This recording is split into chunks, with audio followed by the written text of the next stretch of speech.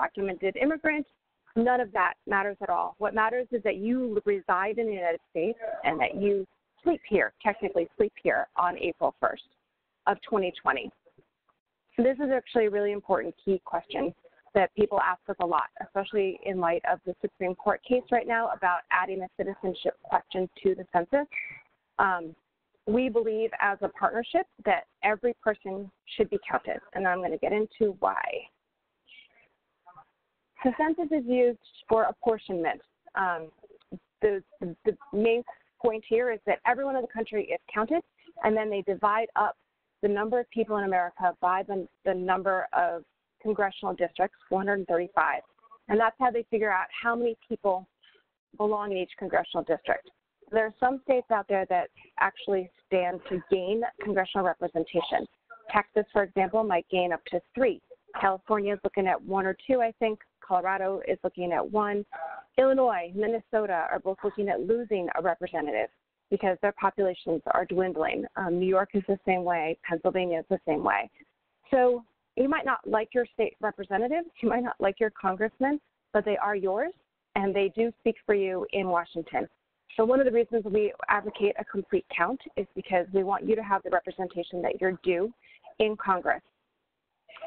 So that's the first thing, apportionment. Um, we draw congressional and state legislative districts and school districts and voter precincts all based on census data.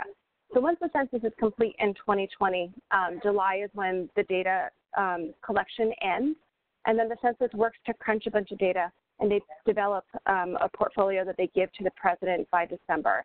Um, in 2021, these the districts across the country will start doing a process called redistricting, and they use this census data to redistrict state house and state senate races, voting districts, school districts, congressional districts, uh, which is a really important process for us politically in our country.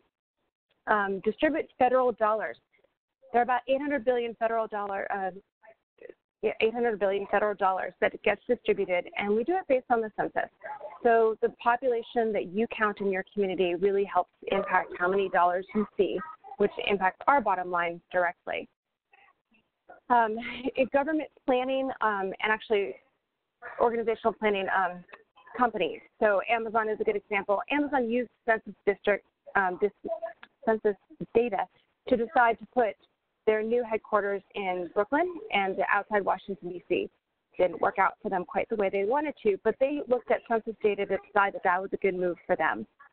Um, voting rights and civil rights legislation that actually is also impacted by the census because they use the census um, data to determine how frequently they need a polling place in a, in a certain area, um, and they, they use it to count um, to see how many people are voting and to make sure that people are getting access to those elections. I'm going quickly. We do have a lot of slides, but I also want to make sure we have some time for questions. Uh, but if you do have questions, please send them to Liza because she's going to manage that process for us. In your community, the census is important because on a local level, um, if you have one neighborhood that's growing, you have a, a brand new suburb and they have a lot of kids in that neighborhood, that census data that we collect next year might get you a new school because there's a large concentration of children that need an education in that area. And so it helps local governments decide where to put resources like libraries and schools. Real estate developers, city planners, and again, businesses, you're not going to put your new ice cream shop in a warehouse district. And that census demographic information can be really helpful to decide where you do something like that. So census is important to us for lots of reasons and lots of ways. So the census actually is a bureau that is it's a, a section of the Department of Commerce. It's an independent section, and they actually do work all year round, not just for the decennial. Um, they do the American Community Survey every five years. The decennial is the one where we ask every single person who lives in our country 10 questions. So the census we're doing next year is only 10 or 11 questions. It's very short. It's going to take 10 or 15 minutes to do. It's not the long form that some of you may have received in the mail that asks lots of personal data about how you commute to work. It's nothing like that. These are pretty simple questions. They ask who's in your household. Uh, they ask what your income is, your gender, your ethnicity. Pretty, pretty simple, pretty simple stuff. Um, they have been started, they started in March um, of 2018 to finalize the questionnaire, uh, but they've actually been working on this since the year after the last decennial to plan what went wrong, what went right, how do they do the 2020 census. Um, they have been verifying addresses, working with the U.S. Postal Service for the past six months to eight months, and they're starting to open um, census bureaus. So the regional offices are all open, and I will show you a map of those in a, in a minute. Um, and they're about to start opening up to 248 local um, local offices around the country. The important dates for you to know is that next March, people will be sent um, an invitation to respond online. They, they're hoping that 45 to 60 percent of the census next year is responded to online, which poses a problem for some of the communities out there that don't have internet access or reliable internet access. Um, the census knows those those communities, and those those people will be sent a mail form uh, right off the bat. They're not going to be invited to do online, um, but invitations will be sent in March. Then reminders and postcards will be sent. Census Day is April 1st, and this is a, the snapshot day I mentioned earlier. This is where you sleep at night. So if you have a split household and you have um, your, your share custody of your kids with your, your former partner, wherever those kids sleep that night on April 1st, that parent is the one who needs to put the kids on the, their census form. Um, sometimes people don't actually, um, sorry, I lost my train of thought for a second. Sometimes people don't respond when they have kids in their household that aren't theirs. So if you're an intergenerational household and your kids or grandkids are staying with you, that they're and they're, it's a temporary situation. Some people don't count the children that are in the household, but if they're sleeping there regularly, not just on vacation, not just visiting, but if they sleep there regularly and they're there, they're, they are there on April 1st, it's really important that we make sure that our communities know that they need to count kids. Um, reminder letters will be sent with paper questionnaires if people don't do it online. Postcards, a final postcard will be sent, and then in May, people will start getting knocks on their door. One of the biggest questions we have is that uh, they don't want people to come to their door. They don't want the government showing up on their doorstep. If you fill out the mail or online census, they won't. So the answer is pretty simple right there. Um, 95% of households will get their invitation by mail. Some of those places, some of you might have um, communities where you, you don't have mailboxes. Um, some households will have the census taker drop them off. Um, usually, census censuses aren't taken by um, a census taker in person. For the most part, knocking on doors just stirs people to do it themselves. So less than 1% will be counted in person. So we do have, um, I think it's 420,000 enumerators will be will be walking around. The census hires hundreds of billions of people, or hundreds of people a cycle, and they're going to spend 15 billion dollars to complete this count. So this is not an insignificant undertaking. Um, in 1970, the average dollar per household to count was $16, and those are today's dollars. In 2010, it was 92, and today it's 107, and that's a a, a hallmark of how difficult the environment has been, become for people to fill out the census. This number is really important, and we have a, a chart that shows what the actual number is for your state. But the overall average is that for every person in your community that is counted, you will receive $2,000 in federal funding for your community. So that money goes for all sorts of federal programs, but it includes TANF and Head Start and um, SNAP benefits, um, LIHEAP money. Um, if if you have 100 homeless people who don't respond to the census, you're going to miss out on $200,000 a year, every year for 10 years, in real money that, that your community rightfully deserves, which is one of the reasons why we're so involved this year. Okay. We've talked a little bit about this and I'm um, being long-winded, so I'm going to skip a little bit. But how um, most of you do, all of you actually do a community needs assessment.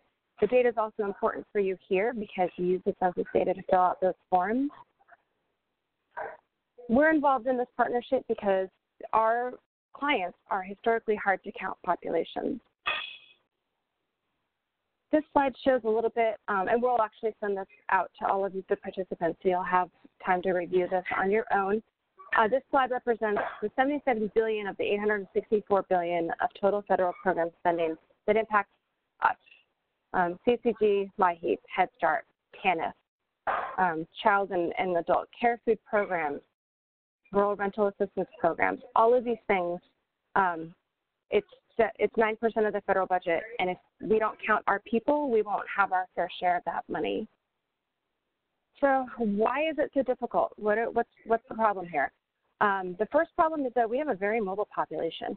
So the average um, is 15, 15, 14 to 18 percent of, of Americans av- on average move every year.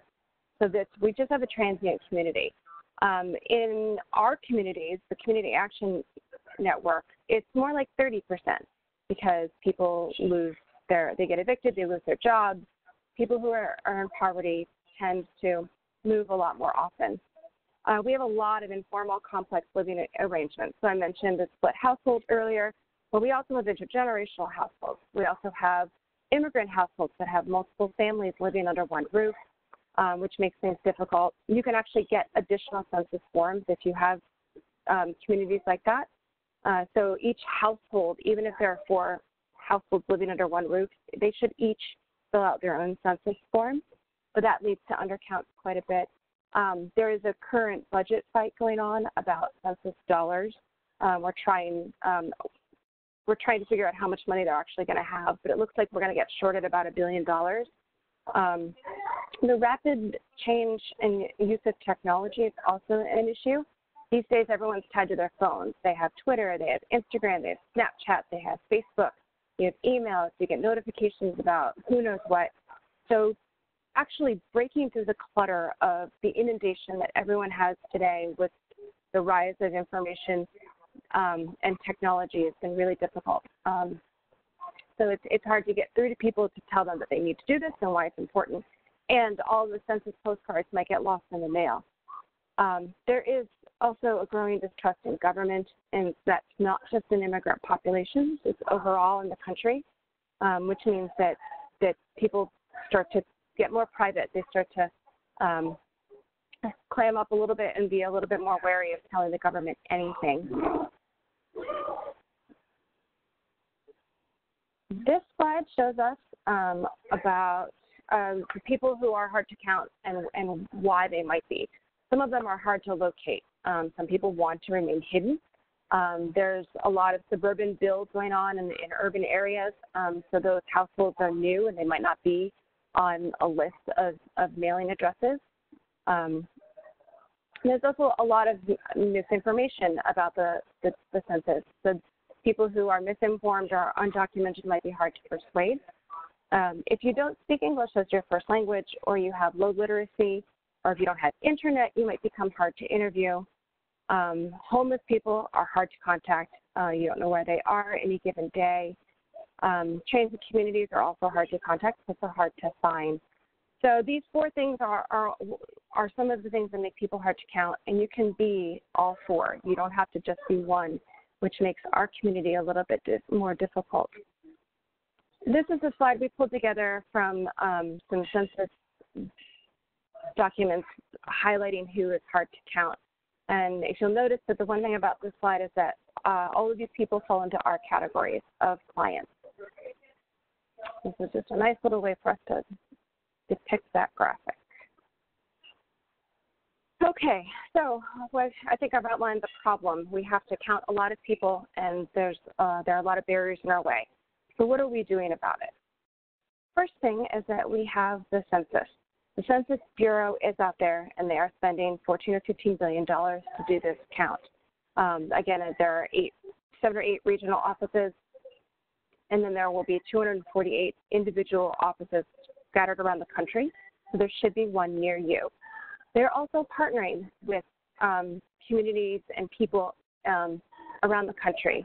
We encourage you to go to the, the U.S. Census website and partner with them.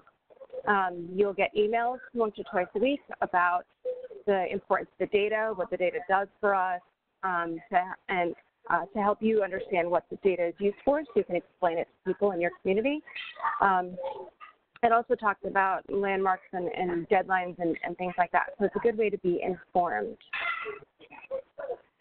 here are the regional offices. Um, so Denver, Chicago, Atlanta, New York, Philadelphia, and Los Angeles are the regions.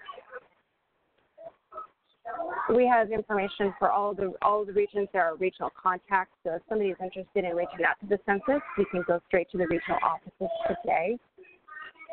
Liza, do we have? Um, can we throw the slides in with each individual office and the and the contact information before we send this out?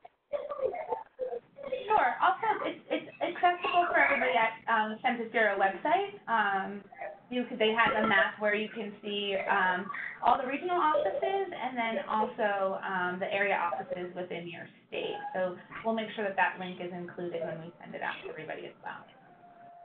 Excellent. Thank you. Okay. So the census has these regional partner offices. Um, they're also doing what's called complete count committees. I know I mentioned this a little bit before. Um, many states have already formed statewide complete count committees, um, and we are encouraging all of our locations um, on the local level to build a, a, complete count committee. So these are, are um, loose organizations between your local government, your faith-based action um, communities in the area, so the churches and, and mosques and um, synagogues that might be trusted partners in your community, um, along with, with community action. A great example of this, I was in Tennessee a couple weeks ago, and they were about to have a meeting with their mayor the next week for their complete count committee. Um, and one of the asks that the Community Action Network had for the mayor was to talk to the police about not sweeping homeless communities in the days surrounding the count so they they knew they were planning when the Census Bureau was going to go out and do their counting of homeless populations, and they wanted to make sure that they were in known locations. So that's something that a complete count committee can do um, it, to help us get our complete count. Um, the census also has this really great toolkit. It's about 30 pages. It's worth le through. And it's not just good for census, it's good for any kind of community outreach. Um, but it gives you an overview of how to go about talking to people about the census and to go about building a partnership in your community. Census Counts 2020. So this is a group um, of 16 hub organizations. You can see the these are the the logos for all of them. Um, they're privately funded by a group, um, several of the large foundations um, have pulled together to give each of these entities a pocket of money to come out and do what we're doing. Um, so we have people representing the rainbow of America. So Arab Americans, Asian Americans, LGBTQ, Hispanic, um, all of these people are, are involved in this process. These partners are going and doing their own research and developing their own tools based on what's best in their community and we're sharing information. So no one person is creating all of the information out there and all the tools that are out there. So the Arab American Institute Foundation, for example, is doing research in their community to figure out the messaging, for example. So what can convince an Arab American to fill out the census?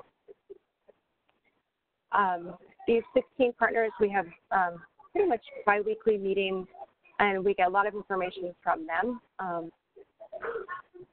they are the Census 2020 Counts Hub. The national hubs are the 16 partners. Um, the state associations for all of these entities are our state hubs, and then the local action are would be our community action agencies. Um, and all of these state hubs have other local offices. So one of the things that we're putting together is a way for you to figure out who is part of the Census Counts 2020 partnership in your area. So you can reach out to them and build a partnership to work together in tandem to do a complete count. They also have a website. Um, on, on April 1st of 2019, they launched the Countly and website, um, sorry, the Census Counts 2020 website. Um, they're adding resources to this website, and we're encouraging people to go in and pledge to be counted. Um, in a way, this is a way for you to get more information from them, but it's also to show numbers. So it's a, an, an important step to pledge here to count yourself and to make sure that your community is counted. Uh, Liza, do you want to step in and do this, this next couple slides? Sure, great. So thanks. We've got a good overview at this point of what is going on um, from both the Census Bureau and the Community Action Counts campaign, which will definitely be informing all of the community actions work around census outreach.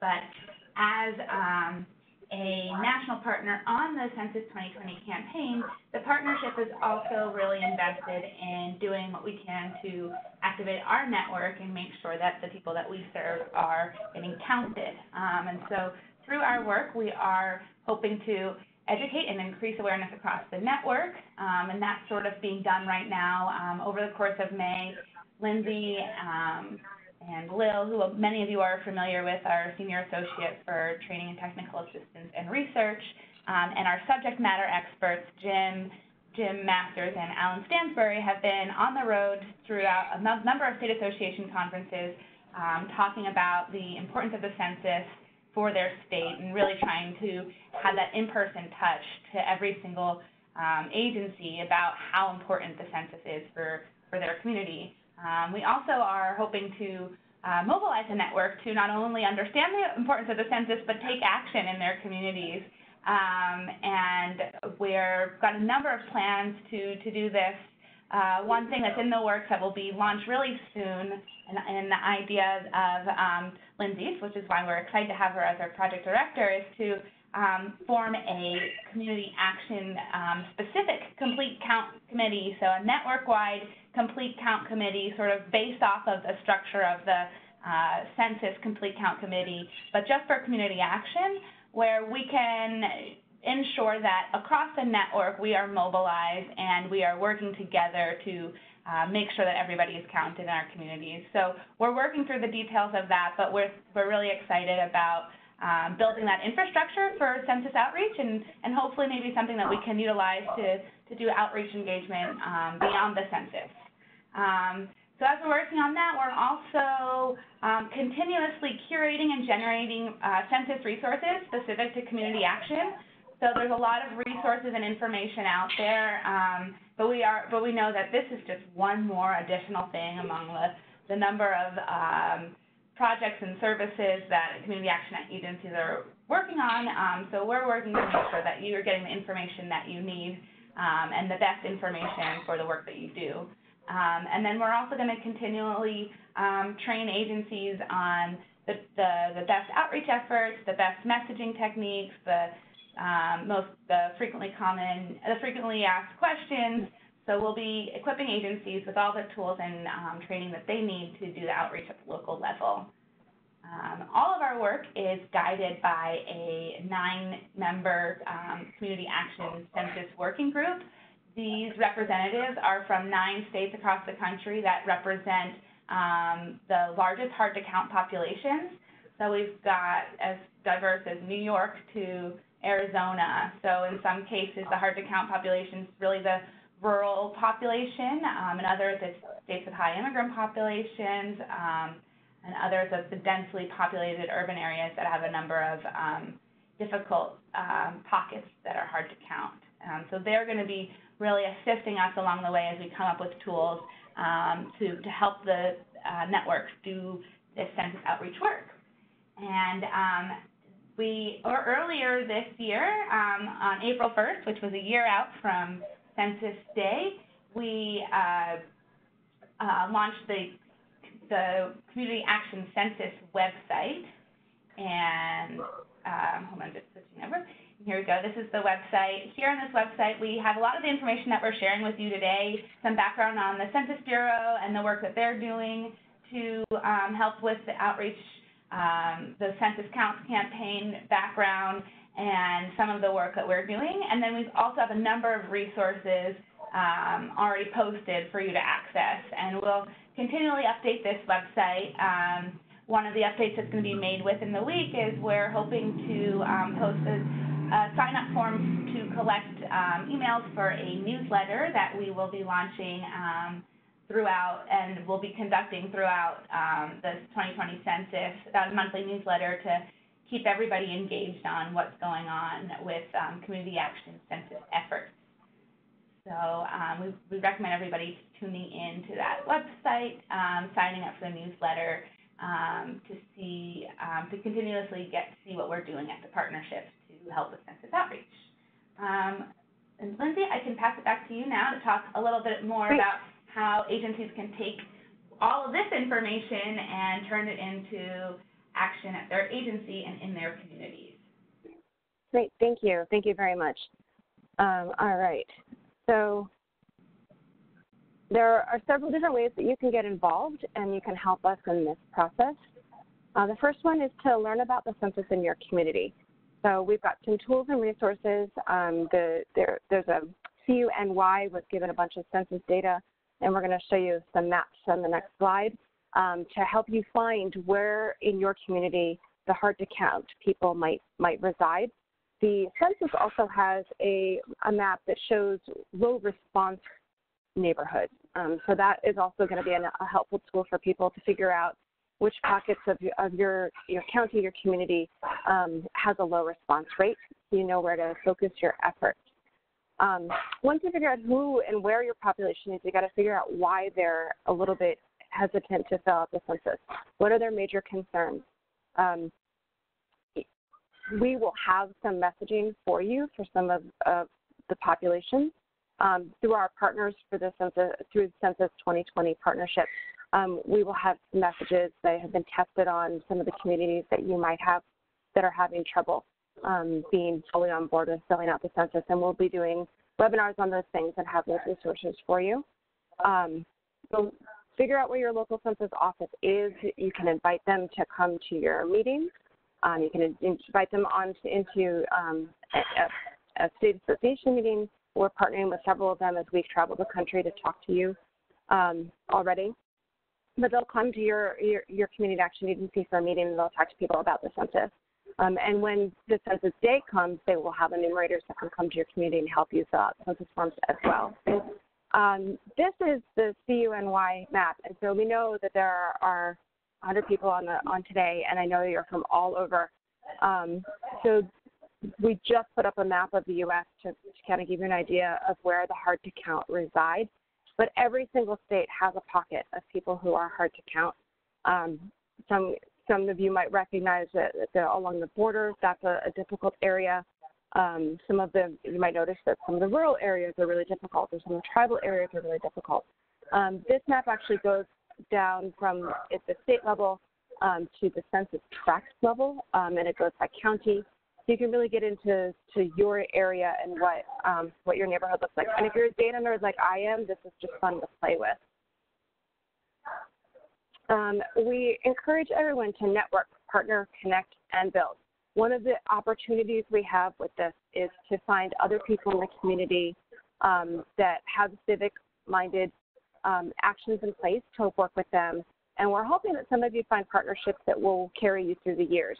Um, you are encouraged to join or form a complete count committee, be a census partner, um, and talk to the local affiliates. And we have some of the data already about the partners that have local offices, and we will have that. And we're encouraging you to recruit to fill census jobs. Um, this actually is, is multifold. Um, census jobs pay between 13 and $23 an hour, depending on where you are in the country. Actually, I think it's 24. Um, these are decent jobs. They can be part-time jobs. They can be full-time jobs. Uh, there are also supervisory positions that pay about $60,000 a year. Um, and we serve people who need jobs. So we encourage people to go to uh, the census website. You can just Google census jobs. Um, or, or, it's also, I think it's census 2020 backslash jobs. But it's easy to find, and you can encourage your clients to apply for these positions. Um, I'm, I've heard on multiple occasions that if somebody is on a stipend, um, it doesn't count against their benefits. So they can do this as well as keep their benefits, um, which is really important for, for our communities, which I know. Um, we're also encouraging people who are on the front lines um, in community action agencies to moonlight as um, I'm sure EDs won't be real happy with me saying that, but you can work part time on the weekends and you can be an enumerator. Um, we're encouraging this because A, we want our people to have jobs, and these are federal jobs which could help them get a longer term federal position in the future. Um, we're also encouraging our people in in every county to apply for these jobs because it makes a lot more sense for a neighbor to be knocking on your door than someone from the big city 200 miles away or somebody that was hired and, and sent into that area. Um, so we want people to, to be um, to, to be interacting with people who are local. Um, and the more trusted we can have people talking about the census with populations that are dubious about it, the more positive reinforcement we can give them. Oh, here it is. She snuck, Liza snuck that slide in for me. That's great. Um, the census outreach at an agency level, we will give you that messaging again for the hard to, to count populations. Um, there are some legalities and frequently asked questions. We'll go through some of them at the end of this, um, this presentation. We are working on um, resources that we can post online, so posters that you can uh, print off and hang in your in your agency in your office, um, postcard templates that you can print off and have your transportation guys walk around with um, and hand one to each person they give a ride to. We will be giving you um, the files for those those kinds of things to help you have the tools at your hands to interact with your community about these things. Um, we are also here for technical assistance. Um, our email addresses are at the end of this, and I think that um, we're on the website. We're easy to find, and we want to be easy to find. We want to be able to answer your questions, so we encourage you to reach out, um, send us an email, call us, ask us your questions. Um, social media and communications, we are going to have a Twitter feed dedicated to census um, information for the partnership. We're also going to have a, a closed Facebook group. So we're, we'll, it'll be a, a, private group that you have to apply to get into. Um, so it's just community action people. Um, and we're going to do that to start a forum so people can ask questions. So you can come in and say, oh, you know, my client says this about the census and is this true? or my client doesn't want to fill out the census because of this, or I have someone who um, speaks an unusual language. How do I get them a census form? Um, the answer there is that there, are phone lines. But we want to have a community forum so people can ask questions and um, and find answers and, and feel like you're connected to other people who are doing this work. Um, the right messaging is really going to be key for everybody talking to folks about the census. Different hard to count populations will respond to different messaging. So we will be feeding you that information. We're, we've got research out there and we're working on getting that in a format that will be easy to digest for you and to talk to your people. Um, again, the trust and messenger thing is really, really important.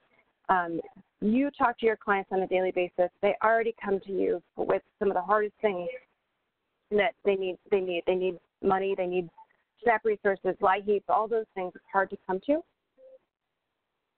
So somebody admit, admit that they need that help, and so they already trust you. Um, and so we we need to empower our network to talk about the census um, as trusted messengers. Uh, we will have a training video. So we are working on this.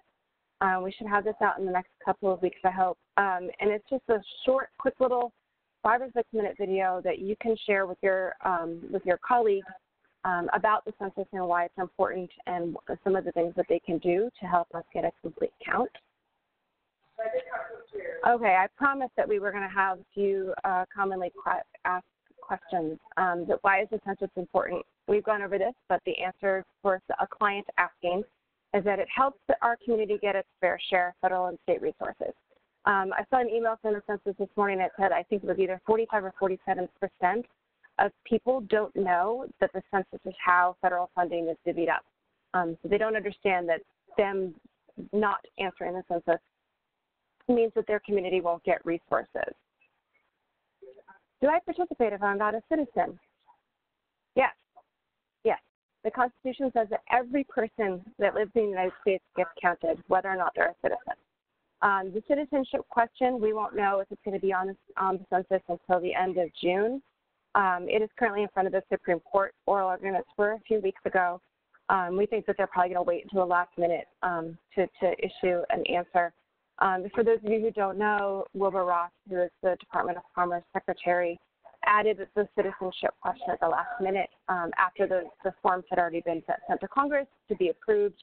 Um, so the question in front of the Supreme Court is whether or not that was done legally, um, which is far more complicated than that. But, but the oversimplification is that um, the justices were very interested in um, the impact of a citizenship question on the, the overall census.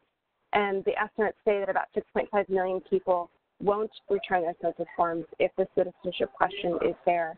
Um, our view is that it would be interesting information. Um, however, we also are very invested in a complete count, and we want every person in the country on April 1st to be filling out their census forms.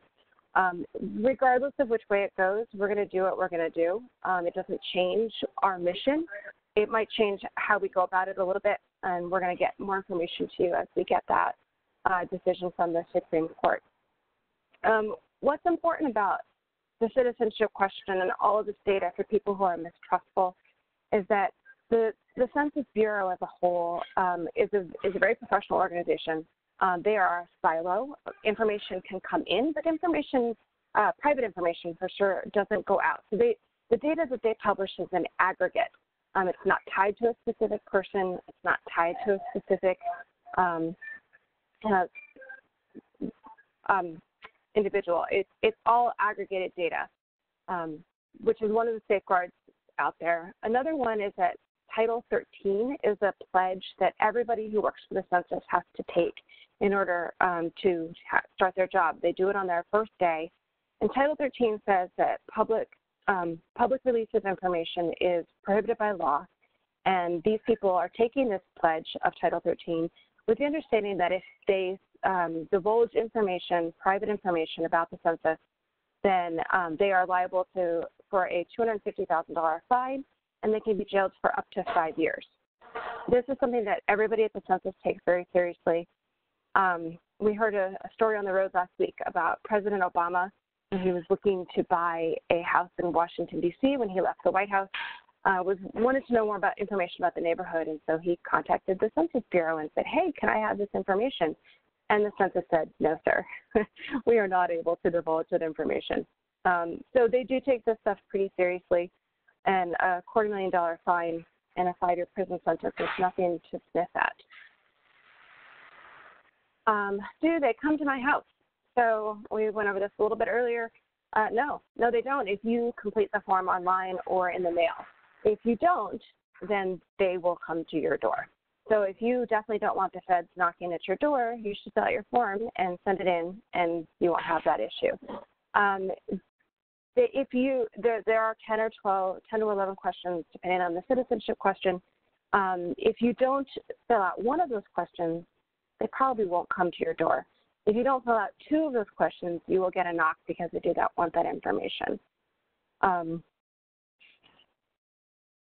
is it safe for me to provide my information? Um, yes, I have touched on this a little bit. Census data is only used for statistical purposes. It is aggregated. Um, personal census information cannot be disclosed for 72 years. So I have I've had a couple people say that they use census forms um, from the early 1900s to do genealogy research, which is really cool. It's a really cool thing to be able to find that information. Um, today, the, the standard is that your personal information will not be released for 72 years.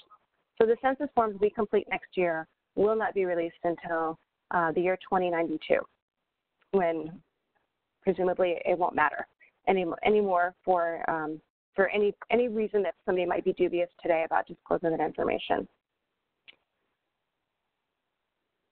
Can I help someone fill out their census form? Uh, we're going to have a lot more guidance on this one because this is a question that comes up quite a bit. Um, the, the, short answer is yes, you can help somebody um, get online and pull up the proper form.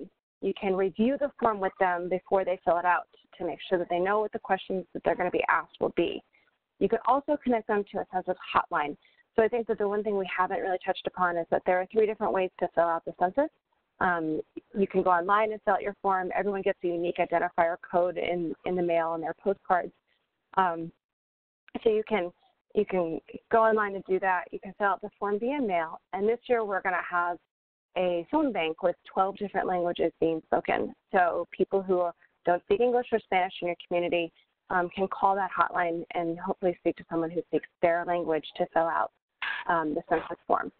You can't fill out a form for your client. and we're, we're going to have some more guidance on this, but basically, a client can't come in and give you their form and say, you fill this out for me. And you go into your database and pull their LIHEAP information or whatever the case may be uh, to fill out the form. They have to do it themselves. Uh, but there will be ways that you can assist them in that process. Um, accessibility issues, again, right, so people might not be literate, literate, they might not be able to read, um, they might not be able to see, they might be blind. Um, if there are accessibility issues, there are multiple ways that we can fill out these forms. And something I haven't touched upon is that there, um, the census has different plans in place for all kinds of populations. So they have a plan for homeless populations. Uh, they have a plan for people who are living um, in group settings, so dorm rooms, prisons, um, domestic violence shelters. Uh, those people will be counted um, through the administration of those, those entities. Um, although that's a question, for the census purposes, anyone who's at college gets counted in their dorm because that's where they sleep, not in their home, even though they are still a part of a, a, a family household elsewhere. Um, jails, people are counted in the county within they reside. So uh, if you have a jail in your county, all of those inmates are counted in your community. Um, Okay. Does anybody have any questions right now? Okay, I see one from April. Are there penalties if people don't answer their door? Yes, there's actually a $100 fine if you do not fill out your census form. Um, I believe the last time the, lot the fine was levied was in 1970, um, but the fine does exist. So, yes, that, that is something that is definitely a stick